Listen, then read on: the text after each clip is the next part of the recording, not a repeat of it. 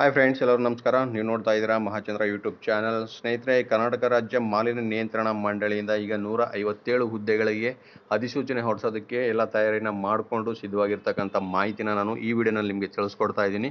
ನೀವು ಮಾಡಬೇಕಾದ್ರೆ ಇಷ್ಟೇ ವಿಡಿಯೋ ಸ್ಕಿಪ್ ಮಾಡ್ದೇ ಪೂರ್ತಿಯಾಗಿ ನೋಡಿ. ಹಾಗೆ ನಮ್ಮ ಚಾನಲ್ನ ಇನ್ನು ಯಾರು ಸಬ್ಸ್ಕ್ರೈಬ್ ಮಾಡ್ಕೊಂಡಿಲ್ಲ, ಅವರು ಈ ಕೂಡಲೇ ಸಬ್ಸ್ಕ್ರೈಬ್ ಮಾಡ್ಕೊಳ್ಳಿ. ಹಾಗೆ ಪಕ್ಕದಲ್ಲಿರೋ ಬೆಲ್ ಐಕನ್ನ ಕ್ಲಿಕ್ ಮಾಡಿ ಆಲ್ ಸೆಲೆಕ್ಟ್ ಮಾಡ್ಕೊಳ್ಳಿ. ಸ್ನೇಹಿತರೆ ನಮ್ಮ ಮಾಡ್ತಕ್ಕಂಥ ಪ್ರತಿಯೊಂದು ವಿಡಿಯೋ ನೀವು ಮಿಸ್ ಮಾಡದೆ ನೋಡ್ಬೋದು. ಸೊ ನೋಡಿ ಸ್ನೇಹಿತರೆ, ಹುದ್ದೆಗಳ ವರ್ಗೀಕರಣ ಈ ರೀತಿ ಇದೆ. ಈಗ ಯಾವ್ಯಾವ ಹುದ್ದೆಗಳಿಗೆ ಇವರು ನೇಮಕಾತಿ ಮಾಡ್ಕೋತಾ ಇರೋದು ಅಂತಂದರೆ, ನೋಡಿ, ನೇರ ನೇಮಕಾತಿ ಮೂಲಕ ಭರ್ತಿ ಮಾಡಲು ಸರ್ಕಾರ ಅನುಮತಿಸಿರುವ ಹುದ್ದೆಗಳ ಹೆಸರು, ನೋಡಿ, ಸಹಾಯಕ ಪರಿಸರ ಅಧಿಕಾರಿ, ಅದು ಹತ್ತು ಹುದ್ದೆಗಳಾಗಿದೆ. ಹಾಗೆ ಸಹಾಯಕ ವೈಜ್ಞಾನಿಕ ಅಧಿಕಾರಿ, ಅದು ಕೂಡ ಹತ್ತು ಹುದ್ದೆಗಳು. ಮತ್ತು ವೈಜ್ಞಾನಿಕ ಸಹಾಯಕ ಇಪ್ಪತ್ತೆರಡು ಹುದ್ದೆಗಳು, ಕಾನೂನು ಸಹಾಯಕ ಮೂರು ಹುದ್ದೆಗಳು. ಪ್ರಥಮ ದರ್ಜೆ ಸಹಾಯಕ ನಾಲ್ಕು ಹುದ್ದೆಗಳು ಮತ್ತು ದ್ವಿತೀಯ ದರ್ಜೆ ಸಹಾಯಕ ಇಪ್ಪತ್ತೇಳು ಹುದ್ದೆಗಳು. ಇದು ರಾಜ್ಯವ್ಯಾಪಿ ಉಳಿಕೆ ಮೂಲದ ಹುದ್ದೆಗಳು ಹಾಗೂ ರಾಜ್ಯವ್ಯಾಪಿ ಸ್ಥಳೀಯ ಅಂತಂದರೆ ಎಚ್ ಕೆ ಕರ್ನಾಟಕ, ಹೈದರಾಬಾದ್ ಕರ್ನಾಟಕ ಅಲ್ಲಿ ಇರತಕ್ಕಂಥ ಉಳಿಕೆ ಮೂಲ ಹೊಂದದ ಹುದ್ದೆಗಳು ಸ್ನೇಹಿತರೆ ಇವು. ಈ ಹುದ್ದೆಗಳಿಗೆ ನೋಡಿ ಯಾವಾಗ ಈಗ ನೇಮಕಾತಿ ಆದೇಶ ಹೊರಡಿಸ್ತಾರೆ ಅನ್ನೋದ್ರ ಬಗ್ಗೆ ನೋಡಿ. ಇಲ್ಲಿ ಒಂದು ಮಾಹಿತಿ ಬಂದಿರತಕ್ಕಂಥದ್ದು ನೂರ ಐವತ್ತೆರಡು ಹುದ್ದೆಗಳಿಗೆ ನೇರ ನೇಮಕಾತಿ ಅದರಲ್ಲಿ ನೋಡಿ, ರಾಜ್ಯ ಮಾಲಿನ್ಯ ನಿಯಂತ್ರಣ ಮಂಡಳಿಯ ನೂರ ಐವತ್ತೆರಡು ಹುದ್ದೆಗಳಿಗೆ ನೇರ ನೇಮಕಾತಿ ಮಾಡಿಕೊಳ್ಳಲಾಗುತ್ತದೆ ಎಂದು ಅರಣ್ಯ ಜೀವಶಾಸ್ತ್ರ ಮತ್ತು ಪರಿಸರ ಸಚಿವ ಈಶ್ವರ ಬಿ. ಖಂಡ್ರೆ ಹೇಳಿದರು. ಮಂಡಳಿಗೆ ಮಂಜೂರಾಗಿರುವ ಇನ್ನೂರ ಐವತ್ಮೂರು ಹುದ್ದೆಗಳ ಪೈಕಿ ನೂರ ಐವತ್ತೆರಡು ಹುದ್ದೆಗಳು ತಾಂತ್ರಿಕ ಪ್ರಯೋಗಶಾಲೆ ಮತ್ತು ಆಡಳಿತ ವಿಭಾಗದಲ್ಲಿ ಖಾಲಿ ಇವೆ. ರಾಜ್ಯದಲ್ಲಿ ನೂರ ನಲವತ್ತಾರು ವೃಂದ ಮತ್ತು ಸ್ಥಳೀಯ ವೃಂದ ಆರು ಸೇರಿ ನೂರ ಐವತ್ತೆರಡು ಹುದ್ದೆಗಳ ಭರ್ತಿಗೆ ಕರ್ನಾಟಕ ಪರೀಕ್ಷಾ ಪ್ರಾಧಿಕಾರದ ಮೂಲಕ ನೇರ ನೇಮಕಾತಿ ಪ್ರಕ್ರಿಯೆಯನ್ನು ಕೈಗೊಳ್ಳಲು ಸರ್ಕಾರ ಈಗಾಗಲೇ ಅನುಮತಿಸಿದೆ ಎಂದರು.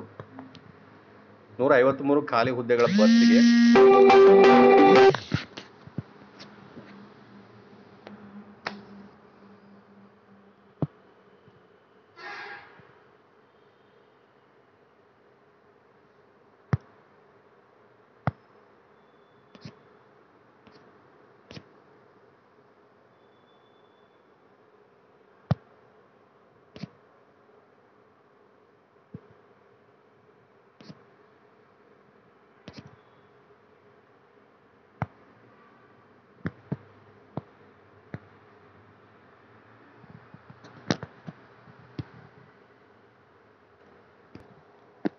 ನೂರ ಐವತ್ಮೂರು ಖಾಲಿ ಹುದ್ದೆಗಳ ಭರ್ತಿಗೆ ಎರಡು ಸಾವಿರದ ಹತ್ತರಲ್ಲಿ ಅಧಿಸೂಚನೆ ಹೊರಡಿಸಲಾಗಿತ್ತು.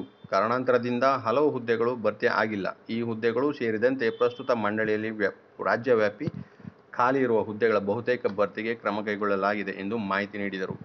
ನೋಡಿ ಇಪ್ಪತ್ತ್ಮೂರು ಹುದ್ದೆಗಳನ್ನು ಬ್ಯಾಕ್ಲಾಗ್ ಎಂದು ಪರಿಗಣಿಸಿದಲ್ಲಿ ನೂರ ಐವತ್ತೆರಡು ಹುದ್ದೆಗಳೊಂದಿಗೆ ಇಪ್ಪತ್ತ್ಮೂರು ಹುದ್ದೆಗಳನ್ನು ಸೇರಿಸಿ ಒಟ್ಟು ನೂರ ಎಪ್ಪತ್ತೈದು ಹುದ್ದೆಗಳನ್ನು ಭರ್ತಿ ಮಾಡಿದರೆ ಶೇಕಡ ಅರವತ್ತೊಂಬತ್ತರಷ್ಟು ಹುದ್ದೆಗಳನ್ನು ನೇರ ನೇಮಕಾತಿ ಮೂಲಕ ಭರ್ತಿ ಮಾಡಿದಂತಾಗುತ್ತದೆ ಎಂದು ಸಚಿವರು ಹೇಳಿದ್ದಾರೆ.